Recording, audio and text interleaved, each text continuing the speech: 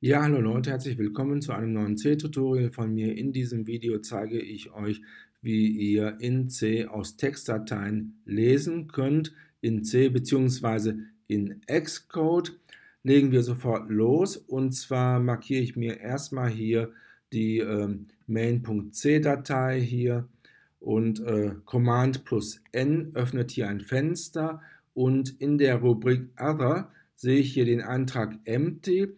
Das ist eben das, was wir hier anwählen sollten. Dann hier auf Next und hier gebe ich einen beliebigen Dateinamen an für die Textdatei. Text, Datei und hier auf Create.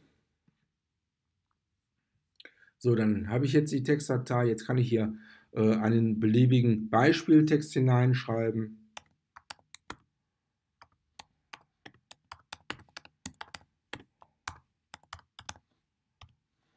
So, das kopiere ich hier.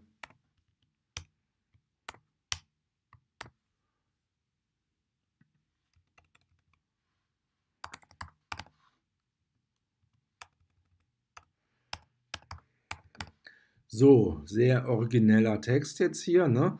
Also gut, wir wollen ja hier nicht den Literaturnobelpreis absahen. Ich meine, gut, wenn er uns verliehen wird, prima, dann nehmen wir ihn natürlich entgegen, aber hier geht es in erster Linie darum, ums äh, Programmieren. So, und jetzt äh, wieder in main.c. Das nächste, was ich hier mache, ist, äh, ich lege hier eine Konstante an für den Dateinamen. Das mache ich diesmal über define.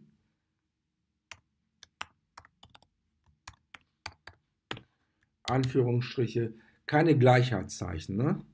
So, und jetzt ähm, klicke ich auf die Textdatei, ohne diese loszulassen und ziehe sie hier rein. Und schon habe ich den Pfad zu der Textdatei hier. Und äh, ja, und dieser Pfad ist hier äh, eben als Konstante abgespeichert. Dann in Main lege ich einen Dateizeiger an,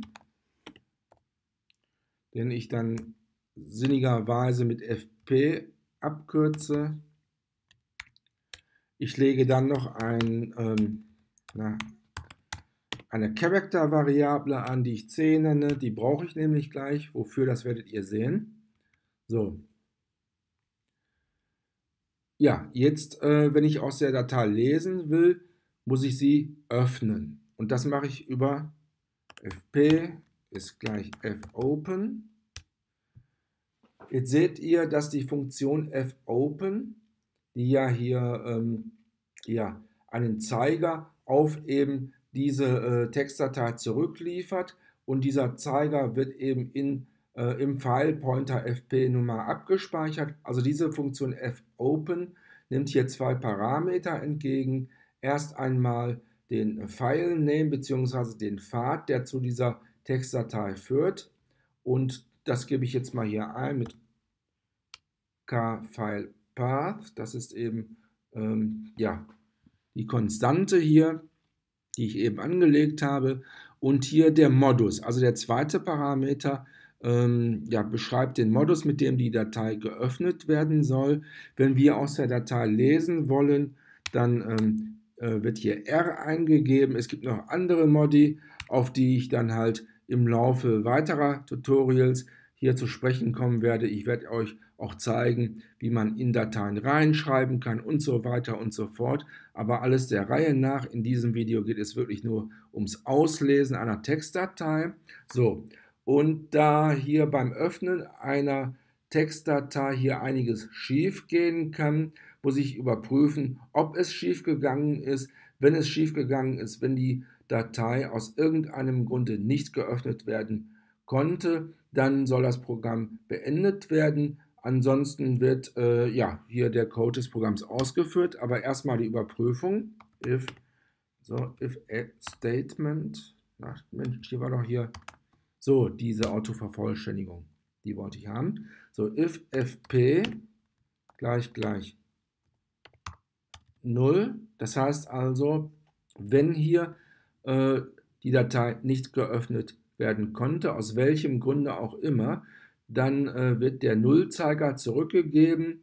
Das heißt, wir können hier nicht mehr weiterarbeiten und entsprechend äh, gebe ich hier in, in diesem if-Block die äh, printf-Anweisung hier aus. Datei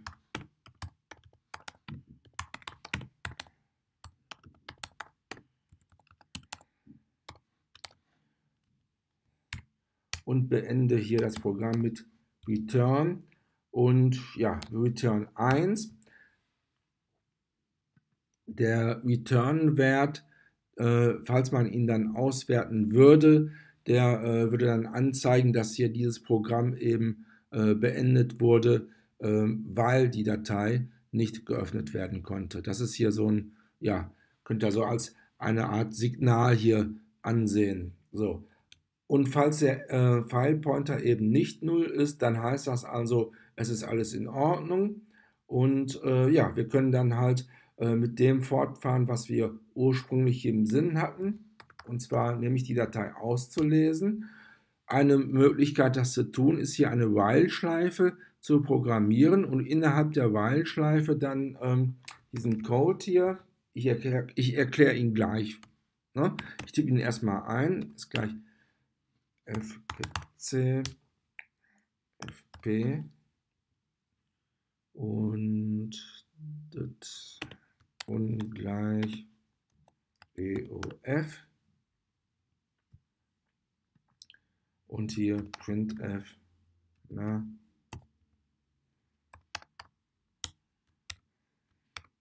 c. So ja, was äh, bedeutet das hier? Das bedeutet also hier über ähm, FGC lese ich hier ähm, jedes Zeichen, also jedes Zeichen, das ich hier eingetippt habe, jeder Buchstabe, aber dazu zählen auch Leerzeichen, dazu ähm, zählt auch die Enter-Taste hier, die ich betätigt habe hier.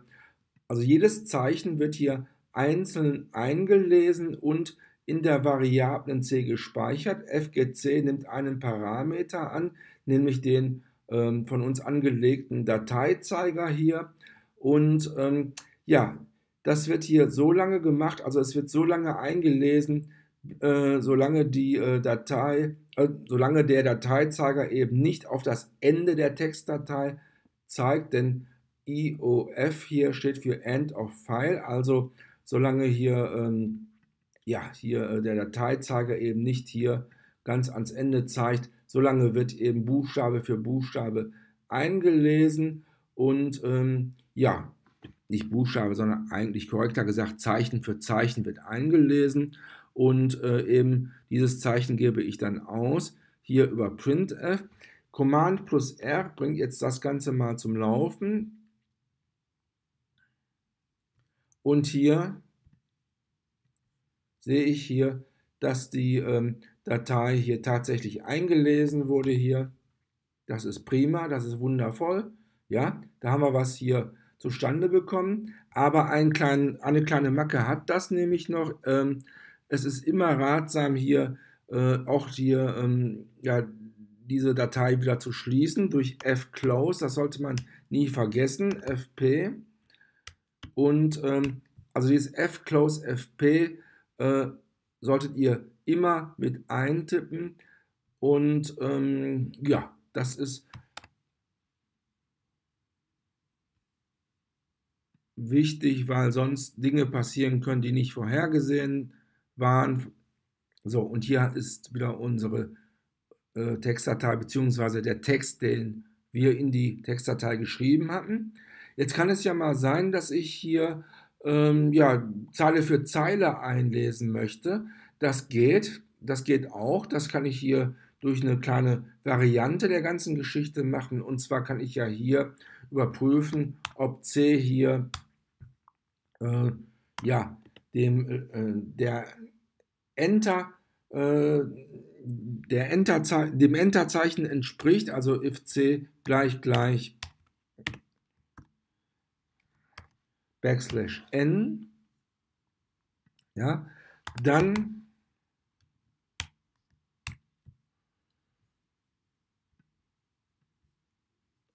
ja, wartet das Programm darauf, dass ich hier auf die Enter-Taste drücke, dass, dass, ich, dass ich die Enter-Taste betätige und ähm, ja, und dann wird weitergelesen. Also das würde jetzt so laufen, hier Command plus N, äh, Command plus R bringt die ganze Sache wieder zum Laufen hier. Seht ihr, jetzt ist folgendes passiert.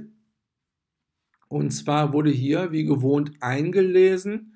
Also die Logik, es wird eingelesen, dann wird überprüft, ob hier äh, das äh, Enter-Zeichen, das Zeichen für die neue Zeile eingelesen wurde. Das ist ja erst einmal nicht der Fall. Und äh, ja, demzufolge wird der Code hier innerhalb des if-Blocks nicht mehr ausgeführt. Das entsprechende Zeichen, das eingelesen wurde, wurde äh, dann hier ausgegeben. Und dann geht das so lange, bis dann tatsächlich hier C, die Variable C eben diese Enter-Taste hier enthält. Und äh, ja, dann ist nämlich diese if-Bedingung wahr und äh, ja, der Block, äh, die Anweisungen innerhalb des Blocks werden dann ausgeführt. Und das ist hier get character. Und diese, äh, dieses get character hier nimmt, äh, wartet einfach nur darauf, dass ich hier ähm, die Enter-Taste betätige. Das äh, kann ich jetzt tun. Und Moment, dazu muss ich aber erstmal hier reinspringen. Das kann ich jetzt tun. Und schon kommt die zweite Zeile hier. Und ähm, ja, jetzt ist, äh, jetzt enthält C wieder hier ähm, ja, die, dieses Enter-Zeichen und äh, das Programm wartet wieder darauf, dass ich hier ähm, die Enter-Taste betätige, damit es weiterlaufen kann. Noch einmal auf Enter und schon kommt auch die dritte Zeile. Ne? Das ist hier ähm, ja eigentlich vorerst, vorerst alles, was es hier zum Lesen aus Textdateien zu sagen gibt. Also natürlich könnte man jetzt hier äh, fünf Stunden Vortrag halten oder man könnte jetzt hier äh, Gott weiß welche Sachen zeigen. Ich habe euch mal eine Variante gezeigt hier, äh, wie man aus Dateien lesen kann. Und ähm, ja, fürs Erste sollte es das gewesen sein. In, in kommenden Videos, in künftigen Videos ähm, ja, werden wir auch andere Varianten hier machen. Unter anderem werde ich euch auch zeigen, wie, wie ihr in ähm, Textdateien hineinschreiben könnt und, und, und, und, und. Ne? Okay, aber wie gesagt, fürs Erste soll es das gewesen sein. Äh, ich hoffe, ich, ihr habt was dazu lernen können. Ich hoffe, das äh, Video hier hat euch äh, weitergebracht, gebt mir einen Daumen hoch und abonniert meinen Kanal, damit ihr weiterhin auf dem Laufenden bleiben könnt bei äh, zukünftigen Uploads hier auf meinen Kanal. Denn ja, wenn man halt äh, C lernen will, dann äh, macht dranbleiben schon Sinn. Ne? Denn ähm, ja, das ist nämlich der Schlüssel zum Erfolg, dass man immer weitermacht, immer weitermacht und ähm, sich äh, Wissen nach und nach aneignet. Ne? Okay, ne? So, das war das Ende meines kleinen Vortrags hier. Ne? Ich wünsche euch was, Leute. Ich sage Tschüss, Arrivederci, bye bye und ciao, bis zum nächsten Video.